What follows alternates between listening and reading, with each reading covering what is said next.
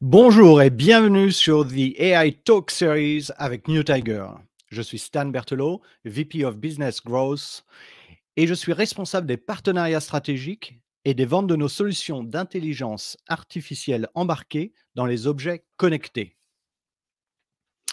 Le cœur de métier de notre société est euh, la santé numérique, mais nous avons aussi des applications dans l'industrie de l'Internet, l'IoT, l'aérospatiale et la cybersécurité des objets connectés comme les voitures autonomes, les villes et les maisons intelligentes. Nous sommes une spin-off de l'Université de Princeton où nous avons un partenariat technologique exclusif avec le cofondateur de la société, le professeur Niraj Jha. Ce live est notre quatrième événement en direct et c'est le premier en français. Vous pouvez retrouver tous nos interviews sur notre chaîne YouTube et également sur notre page LinkedIn.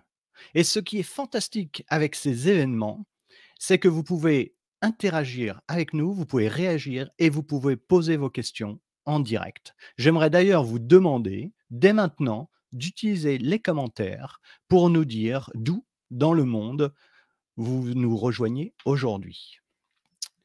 Donc, n'hésitez pas à utiliser les commentaires en bas de la page pour euh, nous le dire. J'ai maintenant l'honneur d'accueillir le professeur Frédéric Galacteros. Professeur Frédéric Galacteros est un médecin, est un chercheur et médecin français. Il est responsable de l'unité des maladies génétiques du globule rouge à l'hôpital Henri Mondor à Créteil.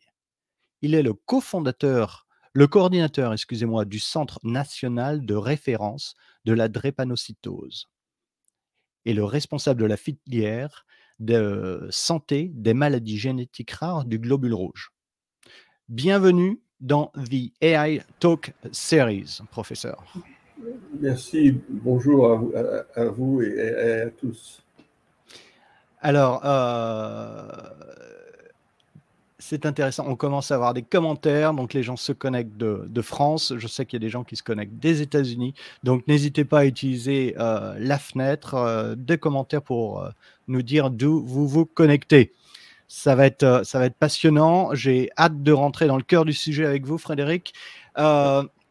nous avons beaucoup de questions aujourd'hui à vous poser sur cette maladie. Nous vous avons invité car euh, vous supervisez une étude clinique euh, conduite avec New Tiger qui utilise les capteurs présents dans les montres connectées pour prévenir les crises. Un compagnon virtuel euh, est en cours de développement par New Tiger et ce compagnon va aider également les patients à mieux gérer leur quotidien et à interagir avec leur médecin traitant. La drépanocytose, c'est une maladie rare peu connue et pourtant elle est très répandue.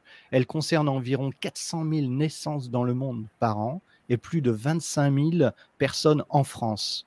Les personnes malades de la drépanocytose sont victimes de crises dites vaso-occlusives qui entraînent des douleurs aiguës, souvent extrêmement violentes.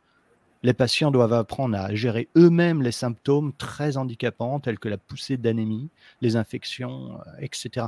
Professeur Galacteros, pourquoi n'entendons-nous pas parler plus souvent de cette maladie?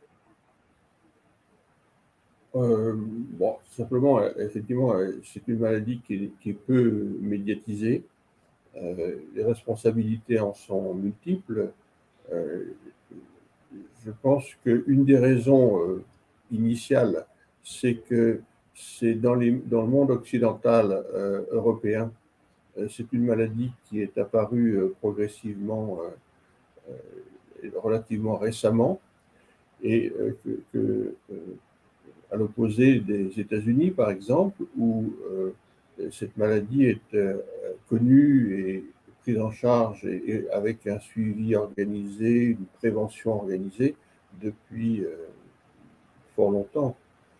Donc, euh, on a euh, dans l'Europe, que ce soit la Grande-Bretagne, euh, la Belgique, la France, la Hollande, d'une façon plus récente, l'Italie,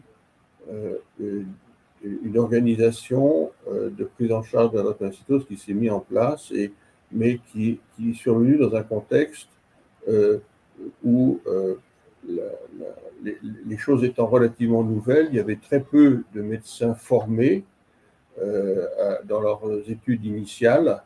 Et bon, tout ça prend beaucoup de temps avant que les, le, le, niveau de prise en charge et de connaissance de la maladie progresse. Mais on a des modèles, comme par exemple en Guadeloupe ou en Martinique, où euh, la maladie est très connue depuis longtemps et euh, vous pouvez euh, poser la question à n'importe qui dans la rue, ils connaissent la, la drépanocytose, ils savent ce que c'est que ce mot, ils le connaissent. Et si vous faites la même chose dans n'importe quelle ville française, vous aurez très très peu de réponses positives sur la connaissance de la maladie. Donc il y a un gros handicap à ce niveau-là parce que pour les patients, la reconnaissance de cette maladie, c'est le gage d'une meilleure prise en charge. Oui, alors pour ceux qui ne connaissent pas encore cette maladie, euh, est-ce que vous pouvez nous en parler? C'est quoi le quotidien d'une personne qui vit avec la drépanocytose? Euh, À quoi doivent-elles faire attention et quel est le, mode de vie que ces personnes devraient euh, privilégier? C'est une maladie qui associe des signes chroniques et, des manifestations aiguës.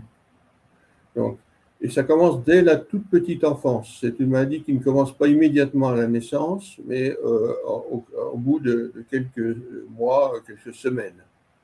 La première des manifestations, c'est une anémie. C'est-à-dire que c'est des gens qui vivent de façon chronique tous les jours, avec seulement 50% du taux de globules rouges qu'il faudrait pour être en pleine forme et pouvoir faire euh, tous les exercices physiques euh, que la vie quotidienne euh, ou la vie sportive éventuellement euh, demande. Donc, il y a une gêne considérable. Vous savez que quand, dès qu'on n'a pas assez d'hémoglobine, on est anémié. Et cette anémie, euh, bien entendu, par exemple, je vous donne un exemple, peu de drépanocytaires peuvent grimper plus de trois étages sans être obligés de faire une pause pour reprendre leur souffle. Hein. Très peu. Et ça, c'est structurel, c'est dû à leur manque de globules La deuxième chose, c'est qu'ils ont une très grande fragilité aux infections et ils sont obligés de prendre toutes sortes de précautions euh, vaccinales, antibiothérapie répétées euh, pour cette raison-là. Et d'autre part, faire la chasse aux foyers infectieux, dentaires, ORL, dans, dans, la gorge, euh, etc. Tout ça est une activité très importante depuis la petite enfance. Et puis enfin, euh, ce sont des personnes qui, de façon tout à fait intempestive, c'est-à-dire sans, sans, sans, crier gare, des douleurs peuvent survenir et interrompre euh, leur vie quotidienne, interrompre définitivement euh, pendant la période douloureuse, parce que c'est un niveau de douleur que généralement personne n'a jamais expérimenté dans la vie ordinaire des, des êtres humains. Même quand on se casse une jambe, même quand on accouche, euh, c'est de la gnognotte, excusez-moi de parler comme ça, à côté du type de douleur que ces personnes peuvent euh, euh, avoir à souffrir.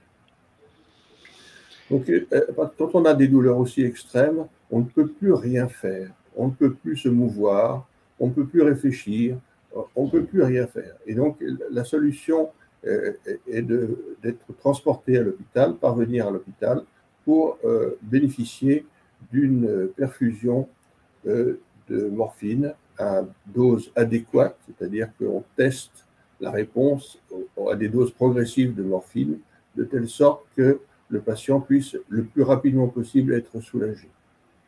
Et c'est pourquoi beaucoup de ces patients sont considérés comme euh, euh, euh, étant des drogués par aller souvent aux urgences parce que les collègues qui ne connaissent pas bien la drépanocytose les voient venir euh, hurlant de douleur ou se taisant mais en ayant extrêmement mal et euh, réclamer de la morphine.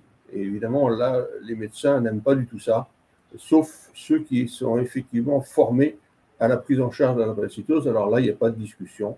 On, va, on, va, on, va, donner la dose de morphine qu'il faut pour soulager. Et, ce n'est pas dangereux. ça ne présente aucun danger d'addiction dès lors que euh, le traitement est adapté à la douleur il y a beaucoup d'autres choses. Évidemment, ces crises euh, sont intempestives, c'est-à-dire qu'elles surviennent à tout moment de l'existence, elles s'installent très rapidement, et euh, ça, peut interrompre un parcours scolaire, un parcours universitaire, un parcours professionnel, et vous imaginez bien que si les choses se répètent trop, euh, il peut y avoir des conséquences importantes sur le parcours scolaire ou, de formation ou, professionnelle. même chose dans la vie quotidienne, dans, dans la vie familiale, ça, ça, oblige la, famille régulièrement à, à, se concentrer sur la prise en charge urgente de la personne en question. Alors, est-ce que c'est fréquent? Eh bien, c'est très variable. Il y a des patients qui euh, ont plus de 10 hospitalisations par an pour cette raison, et d'autres qui en ont euh, une, une hospitalisation tous les deux ans, par exemple. Pas, pas, plus que ça. Donc, la, la, maladie est inégale d'un patient à l'autre. Ensuite, euh, avec l'âge, il peut y avoir des, Il faut comprendre que les crises douloureuses sont liées à des infarctus, c'est-à-dire le, mécanisme de la maladie, c'est ça se passe au niveau des globules rouges du sang. À l'intérieur des globules rouges, il y a de l'hémoglobine. Et cette hémoglobine, dans la drépanocytose, elle est spéciale. C'est pour ça qu'on l'appelle l'hémoglobine S et non pas l'hémoglobine A. Euh, on l'a appelé A pour adulte, hein. euh, puisqu'il y a une différence entre les, hémoglobines des, des bébés et l'hémoglobine définitive. Et donc, l'hémoglobine S, qui se substitue complètement à l'hémoglobine A à l'intérieur des globules rouges, elle a une propriété tout à fait anormale, c'est qu'elle est capable de se figer comme de l'huile dans le froid, et de façon réversible. C'est-à-dire que cette hémoglobine se, polymérise, se fige, donc construit des, espèces de paquets d'hémoglobine, des fibres, euh, ce qui est tout à fait inhabituel, enfin, il n'existe pas naturellement, et euh, ces, fibres vont provoquer, avoir une conséquence grave, c'est que le globule rouge, qui normalement est extraordinairement souple et extensible, hein, on peut prendre un globule rouge et l'étirer dix fois sur sa longueur sans qu'il craque. Et donc, euh, euh, ces globules rouges-là deviennent tout à fait rigides. Et ça fait, ça transforme une, goutte d'huile en balle de ping-pong. Et donc, quand le globule rouge arrive dans un tout petit vaisseau, au lieu de, se déformer et de passer à toute vitesse pour transporter, apporter l'oxygène dans les tissus, il va, se, trouver bloqué. Et, il va y avoir un encombrement, un embouteillage d'amont, et toute la zone va être euh, privée d'oxygène. Et quand une zone est privée d'oxygène, particulièrement dans les muscles et dans les os, ça déclenche des douleurs extraordinaires, d'autant plus importantes que la, zone est plus importante à avoir été privée d'oxygène. Donc ce phénomène de, perte de déformabilité des globules rouges, il est, il est dû à plusieurs phénomènes. Le manque d'oxygène, la désoxygénation, c'est pour ça que les drépanocytaires ne doivent pas aller en altitude, parce que la pression d'oxygène est, moindre en altitude. Et puis il y a d'autres circonstances, le problème respiratoire, euh, les, problèmes d'apnée du sommeil, etc. Donc, les, problèmes d'oxygénation. La deuxième cause euh, qui facilite ces crises douloureuses, c'est la déshydratation. Pourquoi? Parce que les globules rouges, c'est comme des éponges. Euh, quand il y a plein d'eau, ils sont bien gonflés et bien souples. Et quand il n'y a pas d'eau, pas assez d'eau, ils se ratatinent et ils deviennent plus rigides, exactement comme une éponge. Donc, euh, les globules rouges, pour bien circuler, il faut qu'ils soient bien hydratés. C'est valable d'ailleurs pour tout le monde. Et puis, il y a d'autres phénomènes encore, les phénomènes vasculaires. C'est-à-dire que le globule rouge, il, circule dans des tuyaux qui sont des vaisseaux sanguins, mais ces vaisseaux sont vivants. C'est-à-dire qu'ils sont capables de changer de diamètre. Ils peuvent se dilater et laisser passer facilement les globules rouges, ou au contraire se rétrécir, et à ce moment-là, ça facilite l'obstruction. Et par exemple, le stress, par exemple, euh, les infections euh, peuvent favoriser ces, phénomènes vasculaires, euh, soit par rétrécissement, soit parce que la paroi des vaisseaux devient en quelque sorte plus collante pour les globules rouges et, les globules blancs, puisque c'est le rôle des globules blancs justement de patrouiller et de défendre l'organisme dans, ces circonstances. Et donc, les globules blancs euh, et les globules rouges peuvent, euh, en quelque sorte, euh, tous les deux se combiner pour aggraver la situation en situation d'inflammation. Donc, on a vu tout à l'heure qu'ils étaient fragiles aux infections, ces patients, très fragiles, hein, puisque dans historiquement, c'était la principale cause de mort de ces patients, c'était l'infection brutale, mhm. euh, qui est maintenant quasiment disparu. Hein. Il faut savoir que quand j'ai commencé euh, mon, travail de médecin il y a plus de 45 ans maintenant, euh, l'espérance de vie des drépanocytaires ne dépassait pas une vingtaine d'années. On a mis en place le dépistage à la naissance qui a permis de contrer la maladie avant qu'elle commence à se manifester, en, justement en contrôlant le risque infectieux avec des antibiotiques, avec des vaccins particuliers contre le pneumocoque, contre le méningocoque, parce que c'est des méningites, des septicémies à pneumocoque, c'est des infections très graves, potentiellement, et avec une forte mortalité, et une mortalité rapide. Euh, les enfants mouraient rapidement. Euh, malheureusement, dans tous les pays du monde où la drépanocytose est encore très fréquente, comme en Afrique par exemple, eh euh, énormément de ces enfants ne parviennent pas au-delà de 5 ans de vie en raison de cette surmortalité liée aux infections. Euh, en France, la mortalité avant 20 ans maintenant, elle est très très faible et en général, elle est essentiellement due à des négligences ou des carences de prise en charge. Sinon, quand la prise en charge est correctement effectuée, il n'y a plus, pratiquement plus aucune mortalité avant 20 ans. Et on a une espérance de vie de ces patients qui a progressivement euh, augmenté, euh, puisque maintenant il est devenu assez banal d'avoir des patients de 60 ans et plus. D'accord. D'accord. Vous voyez, les progrès ont été quand même considérables ouais, euh, par rapport au début de ma, carrière. Et, tout ça grâce à, des, à une prise en charge qu'on appelle intégrée, c'est-à-dire qui est fondée sur un suivi régulier mhm. et, et, sur la prévention de tout ce qu'on sait faire comme prévention en matière de crise vaso-occlusive, d'infection ou d'anémie. D'accord. Ok.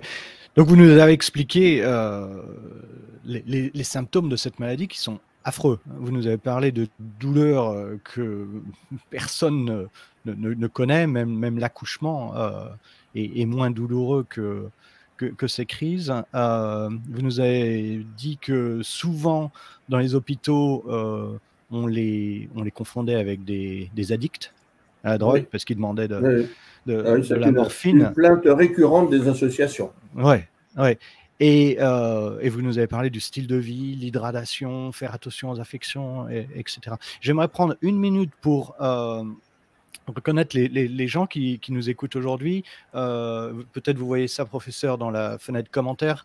On a euh, Nicole qui nous suit en ce moment de la République démocratique du Congo. Euh, et on a beaucoup de gens qui, nous, qui se connectent depuis la France. Tout le monde ne nous a pas répondu, mais merci de nous, suivre. N'hésitez pas à poser vos questions. Et, peut-être si vous êtes vous-même atteint de cette maladie, de la drépanocytose, peut-être pouvez-vous le, pouvez le dire et partager votre expérience. Professeur, la drépanocytose est une maladie génétique euh, qui touche principalement euh, les populations euh, en Afrique, aux Caraïbes.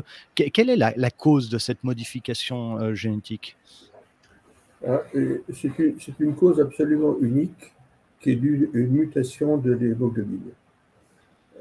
donc c'est une mutation assez ancienne qui est apparue il y a quelques milliers d'années et, ce qu'il faut savoir, c'est que euh, dans l'hérédité de l'hémoglobine, comme d'ailleurs la plupart de, notre hérédité, des gènes de notre hérédité, tout est en double commande.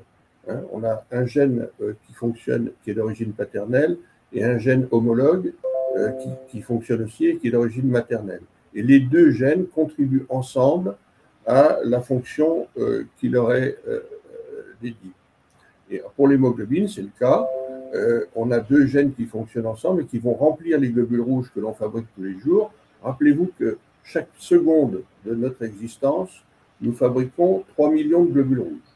Hein Tic, tac, 3 millions. Ça n'arrête pas, de la naissance à la mort. Et donc, c'est pourquoi? Parce que les globules rouges, c'est des cellules qui vivent et qui, meurent, qui vivent 4 mois maximum. Dans la drépanocytose, ils, ont une espérance de vie beaucoup plus courte parce que le contenu en hémoglobine qui est d'hémoglobine S à 100%, puisque le gène paternel a apporté l'hérédité hémoglobine S et le gène maternel aussi. Et par conséquent, ces personnes-là ont 100% d'hémoglobine S dans leur globule rouge. Et cette hémoglobine S, elle, abîme les globules rouges et qui se détruisent beaucoup plus vite. Au lieu de vivre quatre mois, ils vont vivre euh, un mois et demi, deux mois, pas plus. Donc il y a un renouvellement extrêmement rapide de, fabrication des globules rouges, et malgré tout, ça n'arrive pas à combler le déficit. On, reste à 50% du taux de globules rouges normal. Hein. C'est comme une rivière, si elle, coule doucement mais à plat, elle peut être très haute. Si elle coule en grande pente, et même si elle coule beaucoup, le niveau sera bas. C'est exactement le même principe. Euh, donc, c'est comme ça que ça fonctionne. Et là, là c'est d'ailleurs pourquoi euh, il y a quelque chose dont je n'ai pas encore parlé, mais qui est très important pour, les drépanocytaires, c'est l'apport thérapeutique de la transfusion sanguine. Et la drépanocytose en France à l'heure actuelle est un des problèmes numéro un de la transfusion sanguine en France. Pourquoi? Parce que ces patients ont un besoin vital de transfusion sanguine et qu'ils ont par ailleurs, compte tenu des, origines essentiellement africaines ou nord-africaines des drépanocytaires, euh, des sous-groupes sanguins particuliers qui on doit prendre en considération quand on est amené à transfuser plusieurs fois de suite un même patient. Ce n'est pas très grave quand la transfusion est unique dans l'existence, pour un accident par exemple, mais quand on est malade et qu'on a besoin de façon répétée de transfusion, il faut prendre des grandes précautions par rapport au groupe sanguin. Et c'est pour ça que euh, l'EFS, l'établissement français du sang, fait régulièrement des appels pour que les personnes d'origine, de même origine que les patients drépanocytaires, viennent donner leur sang. C'est très important. C'est vital.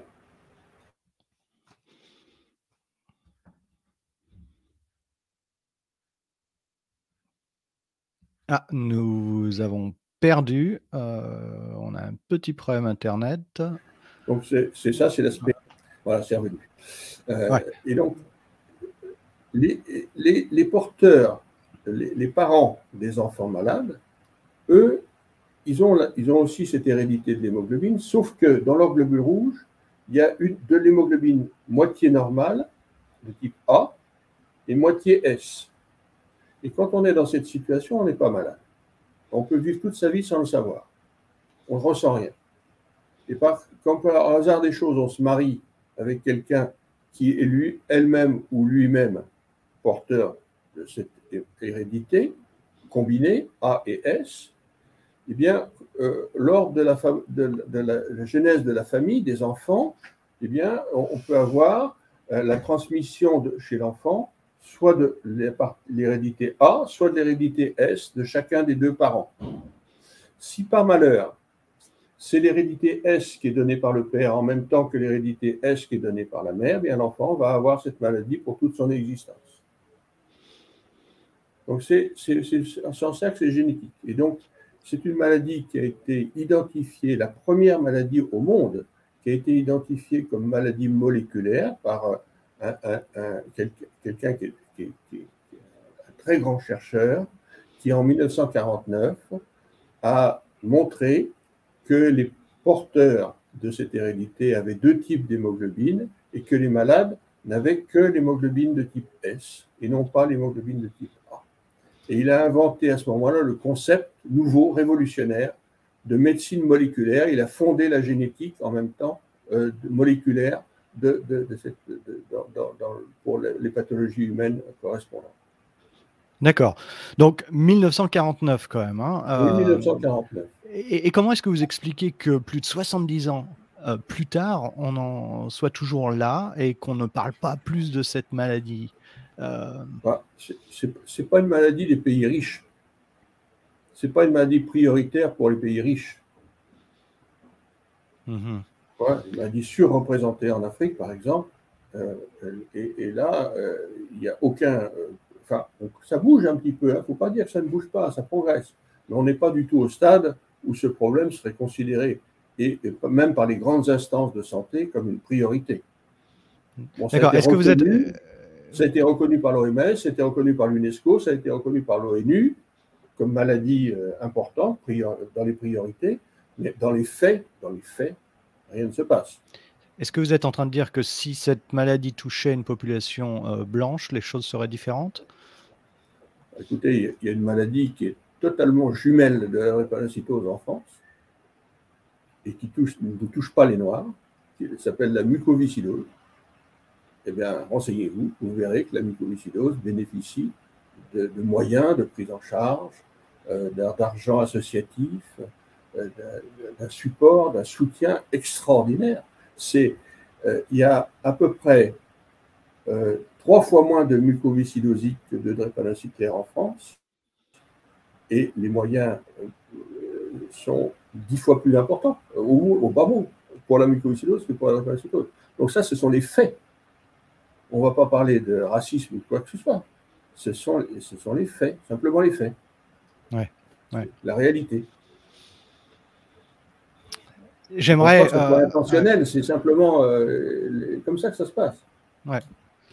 Là, encore, j'encourage euh, tous les participants euh, ben, à, partager votre expérience. Si vous avez été, si vous-même vous avez expérimenté peut-être du racisme durant votre traitement, ou si au contraire vous pensez qu'aujourd'hui vous êtes, vous êtes bien accueilli, n'hésitez pas à nous le dire. J'aimerais aussi prendre une minute pour euh, je, viens d'apprendre que notre collègue David, euh, qui travaille chez New Tiger avec vous, professeur euh, Galatero, sur cette recherche, eh bien, est hospitalisé en ce moment. Donc, c'est un patient de la drépanocytose.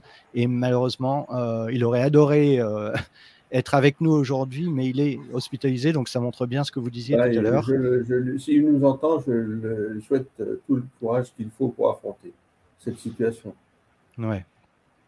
Est-ce qu'il y a des régions dans le monde, professeur, où il est plus facile de parler de la drépanocytose? Vous nous disiez tout à l'heure qu'aux États-Unis, c'était sans doute le cas. Oui, oui. Ouais, ce n'est pas, pas par hasard, si vous voulez. Euh, le, mouvement d'émancipation des Noirs aux États-Unis a mis à son programme, à son agenda, de façon très importante, très bien placée dans l'agenda, la lutte contre la drépanocytose. Et ça a été entériné par Nixon et c'était soutenu par Martin Luther King, etc. Hein, tous, ces, tous ces leaders-là. Ils, connaissent traitement le problème et ils ont imposé ça dans l'agenda de, mise au, disons, à niveau de euh, la prise en compte de la communauté noire aux États-Unis.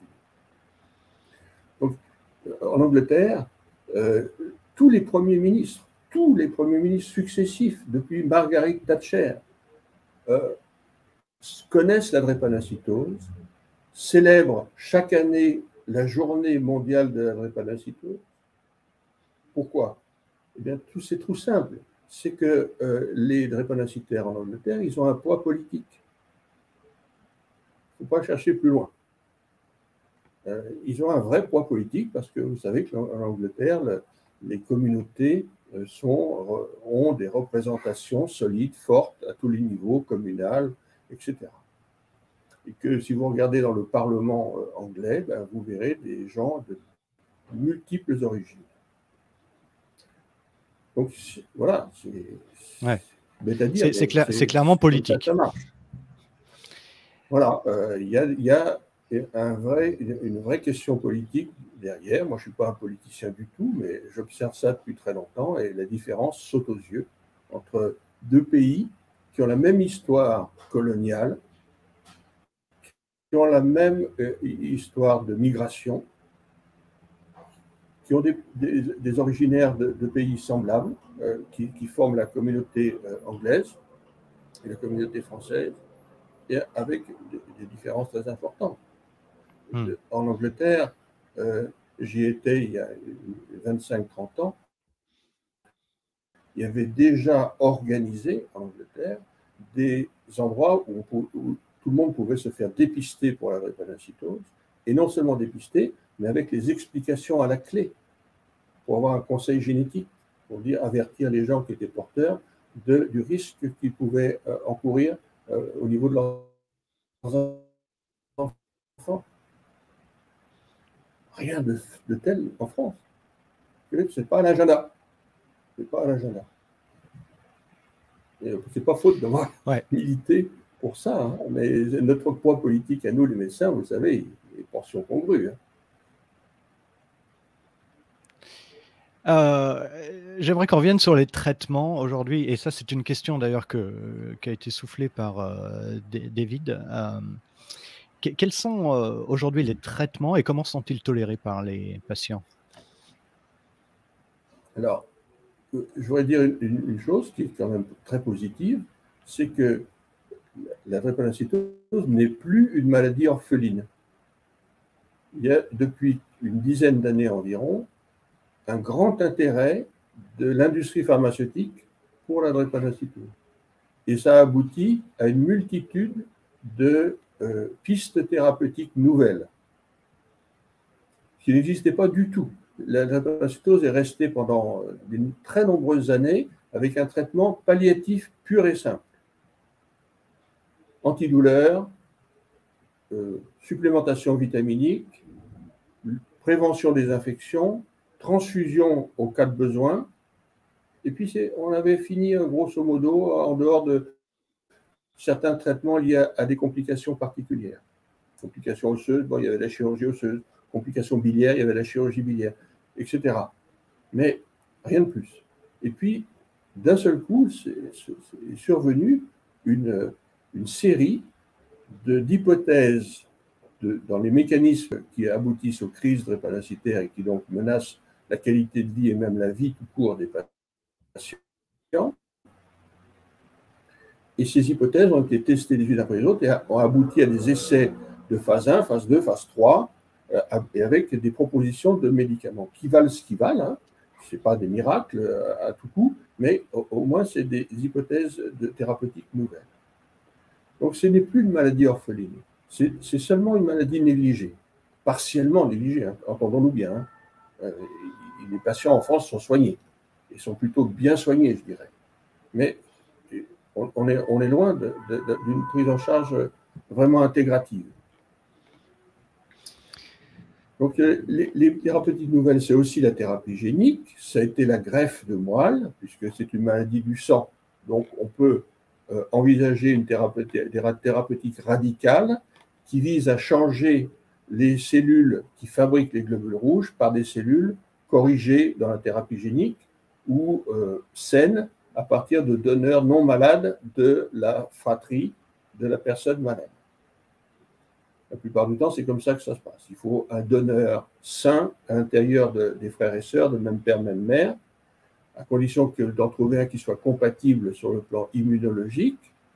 Et ensuite, euh, ça, permet, donc, en cas de succès, hein, euh, parce que le succès n'est pas automatique, mais il est, il est quand même très important, en particulier chez les enfants, d'arriver à, curer, à, soigné donc la, la sur le plan des crises vaso-occlusives. La thérapie génique a la même ambition, mais euh, elle, consiste à prendre des, propres cellules euh, qui fabriquent les globules rouges du patient et, et, injecter dedans euh, une modification génique qui fait que l'expression de la maladie dans les globules rouges va être atténuée suffisamment pour grandement améliorer, voire même supprimer les crises vaso-occlusives. Mmh. Bon, pour le moment, c'est des essais qui sont effectués chez, chez, chez l'être humain, mais de façon extraordinairement limitée et actuellement encore pour un coût euh, qui reste, euh, qui peut sembler à beaucoup rédhibitoire parce que euh, on, est dans des coûts individuels de traitement qui dépassent le million d'euros. Ouais. J'aimerais prendre, avant de passer à, la question suivante, on a, je ne sais pas si vous voyez dans les commentaires, on a eu pas mal de, pas mal de commentaires justement. Euh, entre autres, Priscille euh, nous fait remarquer qu'il y a actuellement 220 études cliniques planifiées ou en cours pour la drépanocytose. Euh, ceci ne représente que la recherche clinique, pas les efforts logistiques et financiers de soutien aux patients atteints de drépanocytose. Alors 228, je ne sais pas ce que ça représente, j'ai aucun benchmark, je ne sais pas si c'est beaucoup ou peu. Qu'est-ce que vous pouvez nous en dire? C'est notable, c'est mieux que rien. si vous preniez le diabète, euh, vous seriez à X milliers. D'accord. Vous prenez le Covid, vous êtes à X milliers. Ok. Oui, donc c'est bien ce que vous disiez tout à l'heure. Euh, Nicole, euh, qui est donc en République démocratique du Congo, dit bonjour, je suis drépanocytaire, j'aurai 45 ans le mois prochain avec un petit garçon de 18 mois. La drépanocytose au Congo est encore un tabou. La prise en charge n'existe pas, donc il faut avoir de l'argent pour une meilleure prise en charge. J'ai créé une ONG dont je suis présidente pour venir en aide aux malades drépanocytaires. Mais manque de financement, nous ne savons pas évoluer pour aider les enfants malades. Qu'est-ce que ça évoque? Bah, La réalité. La réalité, c'est-à-dire qu'il y a un fossé nord-sud majeur, majeur. Et euh, il faut bien comprendre que l'existence d'une sécurité sociale en France, euh, qui est un effort collectif extrêmement important et organisé, c'est le gage de cette espérance de vie et de la capacité d'être soigné pour ces patients. Et il y a très peu de pays au monde actuellement où les soins pour les drépanocytaires sont pris en charge. N'importe quelle crise hospitalisée, même dans des conditions extrêmement euh, basique euh, dans un pays comme le Congo, puisqu'on parle du Congo, ça représente euh, un mois de salaire du, dans la, pour la famille. Mm-hmm. Vous vous rendez compte L'enfant drépanocytaire, non seulement il, se, il, va se sentir presque coupable d'être malade, et il se sent d'ailleurs coupable d'être malade, parce qu'il voit bien qu'il est un poids pour, pour, pour, pour sa famille et pour ses frères et sœurs qui l'empêchent de bénéficier de, l'école parce qu'il n'y a plus d'argent, euh, etc. Alors, euh, Nicole parle de, tabou. Pourquoi On en parlait en, préparant cet entretien euh, du, poids que cette maladie a.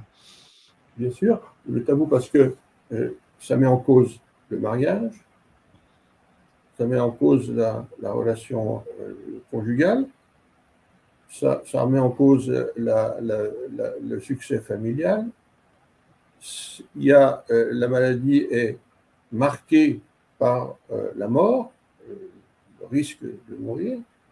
tout ça fait que dans une situation comme celle-là, comment réagir, si vous voulez, c'est compliqué. Il faut se mettre à la place de toutes ces personnes comment faire avec cette situation euh, quand, on, est amené à, la subir? Euh, Est-ce qu'il faut en parler? On aurait euh, tendance, à être méfiant parce que si on en parle, peut-être qu'on aura des réactions autour de nous qui ne seront pas favorables. C'est pas du tout évident qu'on attire la, sympathie ou, ou la solidarité. Ça n'a rien d'évident. Mhm. Donc, parfois, quand on dit tabou, euh, on se dit peut-être ne pas en parler parce que c'est un sujet trop, trop, trop, trop sensible. Vous savez, les, enfants là-bas au Congo, euh, qui ne sont pas sourds, euh, et quand ils entendent par de la bouche de leurs proches, de leurs maîtres d'école, de leurs condisciples, que leur espérance de vie est réduite, voire euh, il y, a une expression horrible au Congo euh, qui, qui, est en langue locale qui, qui dit, qui, qui, appelle les drépanocytaires euh, ne, va pas vivre. pas la peine. Quoi. Vous voyez? Voilà, comment voulez-vous, dans ces conditions, faire état de, façon euh, transparente d'une situation. C'est s'exposer euh, inutilement et exposer son enfant encore plus. Donc ça se comprend, je veux dire. Euh, il faut voir les situations, quoi. Il faut raisonner en termes de situation. Alors, euh, David, euh, qui apparemment a réussi à se connecter depuis euh, l'hôpital où il est malheureusement en ce moment, nous demande, comparé aux mucoviscidoses et aux communautés en Angleterre ou aux USA, quelles raisons voyez-vous derrière les difficultés qu'ont les, communautés affectées à peser plus au niveau politique en Europe? Et quels conseils auriez-vous pour que la maladie soit prioritisée ah, c'est une prise de conscience euh, et puis une volonté euh, de, solidarité euh, avec, les familles, avec les malades. Je pense que ça, va venir pour moi. Ça va venir. Les, grands, penseurs des communautés d'origine africaine vont, finir par réaliser qu'il faut qu'ils prennent en main cette question. Il n'y a aucune raison que ça ne se produise pas. Euh, c'est une question de maturation de la situation. Moi, je suis absolument sûr que ça va se produire. Mhm. Je vais vous dire une petite chose qui n'a rien à voir, mais enfin, qui, qui, est quand même intéressante. Il faut savoir que quand on est porteur du trait S, qu'on est donc AS et qu'on est en, bonne santé, pourquoi il y a autant de gens qui sont AS dans les pays euh, en question? Pourquoi la maladie est aussi fréquente chez eux, la génétique Bien pour une raison très simple, c'est que quand on est porteur du trait, mais pas malade, hein, porteur du trait, eh bien, on a pratiquement zéro chance de mourir du paludisme entre 0 et 5 ans parce que c'est une forme de résistance naturelle extrêmement puissante de mourir du paludisme. D'accord. La sélection naturelle joue. Si vous ne mourrez pas, vous vivez en général. Et si vous vivez, vous allez vous reproduire. Et par conséquent, si vous êtes AS et que c'est comme c'est génétique, eh vous allez transmettre plus, euh, le, S, euh, alors que ceux qui sont décédés étant supposément normal AA, eux, ben, ils n'ont pas eu cette chance de se reproduire. on est en plein dans la sélection naturelle darwinienne. Ouais. Vous voyez? Et donc, ça, tout ça, sur des milliers d'années, a fait en sorte que dans beaucoup de pays, il y a 20-25% de la population en général qui porte le trait. Et la seule limite à ça, eh bien, c'est le fait que les homozygotes, eux, ils sont désavantagés. Donc, les gènes qui sont sélectionnés favorablement chez les hétérozygotes, ils sont sélectionnés négativement chez les homozygotes. Et du coup, ça fait une sorte d'équilibre génétique qui donne cette situation. Mais c'est uniquement parce que les, populations européennes, quand elles, sont, quand elles ont été affectées par le paludisme, avaient exactement ce genre de problème. C'est une autre maladie, mais qui est très très proche de la drépanocytose, qui s'appelle la thalassémie, qui est surreprésenté, par exemple, dans tout le Piémont italien. Mhm. Parce que, pour la même raison, parce que le porteur du trait qui n'est pas malade, mais a une forte résistance au paludisme. Et j'en arrive à ma conclusion, c'est que si on regarde l'ensemble des populations africaines et ou nord-africaines qui ont été exposées depuis 6000 ans à mourir du paludisme, eh bien, est-ce qu'il y en a un seul d'entre eux aujourd'hui qui ne doit pas la vie à la drépanocytose Dans ses aïeux, ils ne sont pas morts parce qu'ils étaient grâce à la drépanocytose. D'accord. Vous voyez le, message que je sous-entends. Je, vous suis. C'est provoquant. C'est intéressant. J'aimerais revenir à ce qu'on a évoqué en, début d'entretien, l'étude clinique euh, que vous supervisez avec, avec New Tigers. Euh, mm. mais, mais, avant d'en parler, euh, j'aimerais que vous nous disiez ce que vous... quels angles dans la santé digitale seraient utiles pour prévenir les symptômes et les complications des maladies chroniques telles que la drépanocytose? Oui, c'est ça. On a besoin d'un dossier informatisé, euh, versatile, c'est-à-dire qui puisse accompagner le patient pour le donner à n'importe quel intervenant de soins, donc il faut quand même être qualifié intervenant de soins, euh, euh, les informations utiles à la prise en charge du patient. Là, tout de suite. Mhm. Donc, il faut arriver à cette disponibilité de l'information médicale euh, patient par patient. Et ça, ça passe effectivement par des supports euh, euh, informatiques numériques, tels qu'on. Je ne suis pas, pas, très bon là-dedans, mais j'en suis convaincu. C'est comme ça qu'il faut, aller. C'est dans cette direction qu'il faut aller. Et donc, la, deuxième chose, c'est que au jour le jour, les patients vont rencontrer des difficultés. J'ai oublié de dire que toutes les crises ne mènent pas à l'hôpital. Les patients en, ont euh, beaucoup plus que celles qui les amènent à l'hôpital, mais qui gèrent eux-mêmes. Donc, ils ont à la maison des produits antalgiques. Euh, ça part du doliprane, puis ça va jusqu'à la codéine, des choses comme ça. et, donc ils sont capables de s'automédiquer dans certaines limites. Mais ça a des limites et les patients euh, ont besoin d'une interlocution rapide. Or, vous savez que euh, dans le système de santé actuel, pouvoir contacter rapidement un médecin, pouvoir être reçu dans les délais efficaces aux urgences. Mais pourquoi aller aux urgences si on peut s'en passer? Donc, il y a quelque chose qui manque là, et qui est effectivement euh, le support télémédecine ou télésoins, d'une façon générale, qui permettrait d'aider le patient à discerner avec lui et ensuite de le surveiller et de l'orienter, de prévenir éventuellement le site des urgences de l'arrivée du patient en leur communiquant les données de santé particulières de ce patient qui permettent de conforter, d'augmenter l'efficacité de prise en charge. Donc, effectivement, il y a un maillon euh, absolument nécessaire à développer dans, pour, cette pathologie. D'accord. Donc, là, euh, donc là on, rentre vraiment dans le cœur du sujet de l'étude euh, clinique que vous supervisez avec New Tigers. pourquoi avez-vous accepté de superviser cette étude? Parce que parce que c'est ce qu'on ne sait pas faire, si vous voulez.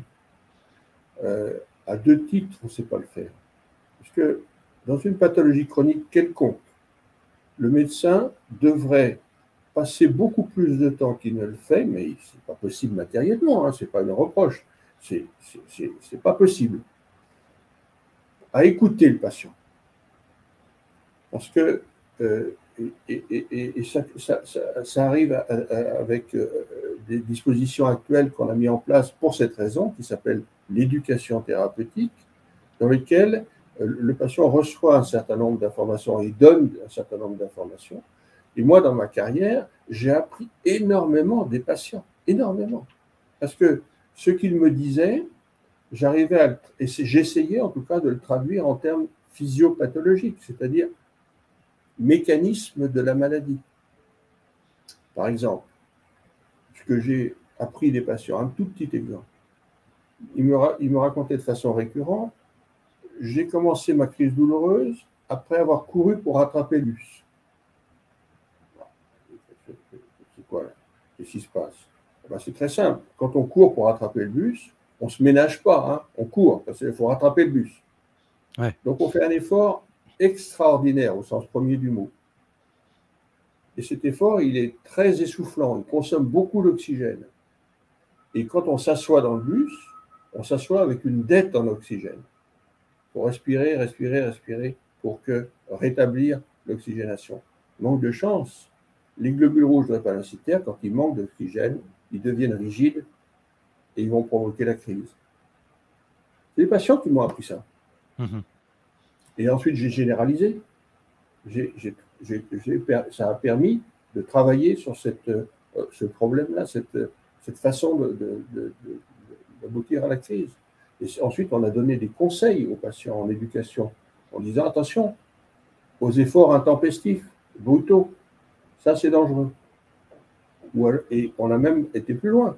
En écoutant d'autres patients, ils me disaient Oui, mais moi, quand je fais ça, dans le bus, je passe pour un imbécile, mais je ne m'assois pas, je marche de long en large. Et comme ça, j'évite la crise. Et pourquoi? Ben, C'est très simple, c'est que en continuant à bouger, la circulation sanguine continue d'être à haute pression, le cœur marche à fond, continue à fonctionner, et du coup, ça permet de se réoxygéner en gardant une pression de passage du filtre des globules rouges les obligeant par la pression à passer quand même, malgré leur manque de déformabilité. Vous voyez? Il faut écouter les patients. Mais écouter les patients, ça demande du temps. Vous voyez? Et, et, alors justement, euh, ce qu'on cherche à faire chez New Tiger, c'est d'équiper les patients de montres connectées, mmh. euh, d'applications euh, compagnons qui leur permettent de, de, parler de leurs symptômes et d'échanger entre eux déjà au sein d'une communauté et d'échanger avec leur médecin traitant. Euh, qu'est-ce que vous imaginez euh, ou comment est-ce que vous imaginez que ces objets connectés conjugués à l'intelligence artificielle vont euh, pouvoir faciliter la, la, vie des patients et la vie des médecins? De quelle façon est-ce que ça peut ça, reste, ça reste pour le moment une hypothèse de travail. Donc on n'a pas encore de, certitude que la chose puisse fonctionner. il, y a, plusieurs obstacles, si vous voulez. un drépanocytaire, quand il va bien, il va bien. Et il va tellement bien qu'il pourrait oublier qu'il est malade. Évidemment, si vous le connectez, il ne va jamais cesser d'être malade. Donc, euh, il y a cet aspect psychologique qu'il faut prendre en compte. Ensuite, il faut que la connexion fonctionne. Et ça, les matériaux euh, utilisés n'ont pas encore atteint peut-être le niveau de perfection qu'il faut. Euh, la pression d'oxygène dans le sang, dont on a vu que c'était important, peut-être d'autres paramètres qui indirectement renseignent sur l'hydratation, sur la qualité du sommeil, euh, sur la qualité de mouvement, l'importance du mouvement, combien de pas, etc., et la, cinétique des mouvements. Bon, potentiellement, on peut, tout ça est, enregistrable. On peut faire un électrocardiogramme, puisque on voit bien que le cœur, le fonctionnement cardiaque est au centre de, de tout ce système. Donc, il est, vraisemblable qu'un certain nombre de ces signaux mis ensemble vont pouvoir générer euh, euh, des, signaux qu'en tant que médecin, ou même en tant que patient, on ne sait pas interpréter de façon univoque. les patients ont l'expérience. Ils savent que s'ils ont une fréquence cardiaque qui va trop fort, c'est pas bon. Mais ils ne sont pas en train tout le temps de mesurer leur euh, fréquence cardiaque. Il pourrait y avoir des alertes, vous voyez individualisé en plus. Puisque si un patient est en danger au-delà de 120 de pulsation, l'autre, un autre ne sera en danger qu'au-delà de 140. Donc tout ça, ça se met en place, ça se mesure, et euh, médicalement parlant, on doit pouvoir ajuster les choses avec justement, et ensuite, l'intelligence artificielle, on, en attend beaucoup, puisque elle serait susceptible de nous donner et de donner aux patients euh, euh, un signal d'imminence potentielle d'une crise. Ce qui veut dire qu'on serait susceptible d'intervenir et d'intervenir, excusez-moi de ce propos immodeste, de façon intelligente. C'est-à-dire mmh. que si le problème c'est un problème d'oxygène, eh bien les patients ont de l'oxygène à domicile et ils peuvent s'en auto-administrer. Si c'est un problème d'hydratation, vous voyez ce que je veux dire. Si c'est un problème de stress et autres, etc., etc., il y a des interventions. Et les nouveaux médicaments pour l'industrie, ils sont là, aussi pour euh, justement essayer de, contrôler ces situations. Et toutes les crises ne sont, pas dues à une seule et même cause. Il y a toute une série de, circonstances favorisant les, favorisant les crises résolutives. Donc, on, aurait une approche un peu prédictive à court terme, mais permettant quand même, on peut l'espérer, une intervention qui ferait avorter la, survenue de la crise. À ce moment-là, on fait un essai thérapeutique fondé sur ça dessus, avec, euh, on peut voir si ce signal est réellement un signal euh, euh, pertinent, et, ce qui veut dire que l'intervention qu'on aura aura permis ou pas de prévenir les, crises. Donc, pour moi, c'est une, piste nouvelle parce qu'aucun médecin à l'heure actuelle, même euh, entièrement dédié à, la, à cette maladie et pendant du temps, ne peut être au quotidien auprès des patients. Ouais. Euh, et, d'ailleurs, peut-être que. Une, une, intermédiation pour ça. Ouais.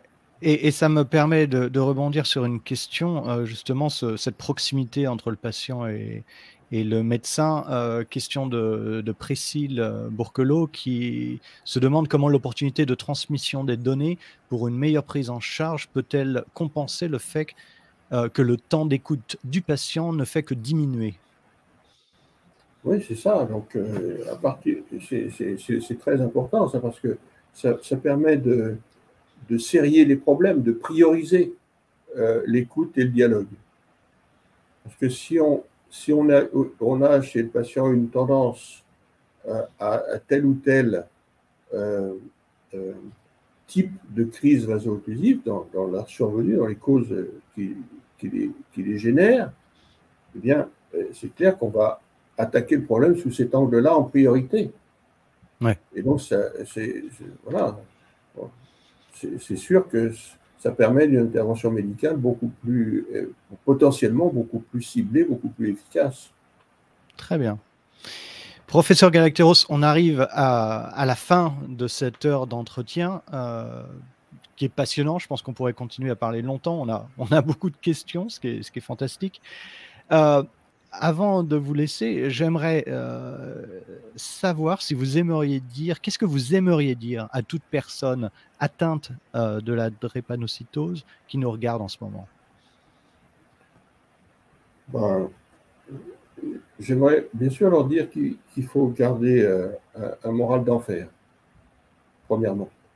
Que la façon dont on vit la drépanocytose, elle, ça joue un rôle extrême sur la drépanocytose elle-même. La drépanocytose est une maladie euh, où la façon dont on vit la maladie façonne la maladie. Donc, il faut être optimiste parce que à ce moment-là, on optimise la maladie. Si on est très négatif, on aggrave les choses. et ça, c'est une observation tout à fait euh, convaincante dans l'esprit de tous les médecins qui s'occupent de la drépanocytose. On ne sait pas le prouver, on ne sait pas, on mais c'est une observation euh, récurrente. Et puis d'autre part, les progrès arrivent. Moi, je vais vous montrer un petit truc qui vient de sortir, qui s'appelle Ouvrir les yeux sur une maladie invisible. Carnet de propositions.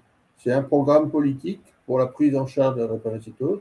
Et comme vous pouvez voir en bas, ça a été fait avec les associations, mais aussi avec l'industrie. Mm-hmm c'est un, véritable livre blanc programmatique pour prendre en charge les différentes composantes de la drépanocytose. Eh bien, ce, programme il est disponible sur euh, les, sites associatifs, et puis euh, euh, par Novartis, puisque pour pas la nommer, pour pas les nommer, moi je, suis trop vieux, je m'en fiche maintenant de, ce genre de choses et, donc, euh, que je remercie par ailleurs, parce que c'est un effort considérable. Et, donc, euh, il y a un programme à faire, donc il faut réfléchir, il faut regarder, et il faut, faut lutter pour que ce programme euh, aboutisse. Et ça changera beaucoup de choses à tous les niveaux. Très bien. Merci, merci Frédéric Galacteros pour ces paroles pleines d'espoir. Euh, donc il faut garder la pêche, il faut rester positif, il faut euh, vivre dans, la dans, cette positivité euh, pour, pour, lutter contre la maladie. Merci à tous ceux qui nous ont regardés. désolé si on n'a pas répondu à toutes vos questions, mais cette conversation continue et continuera en ligne. une personne se demande comment pouvoir diffuser cette vidéo pour ceux qui n'ont pas Facebook.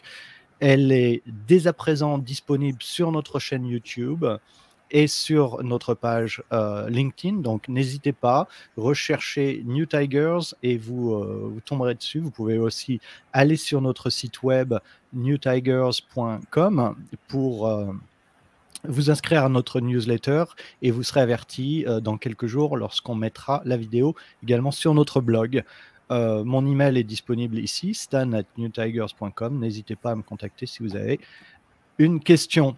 Encore une fois, professeur Galacteros, merci beaucoup euh, pour cette heure de conversation euh, sur la drépanocytose. Merci à vous. Au revoir. Et bon courage à tous. Merci, au revoir.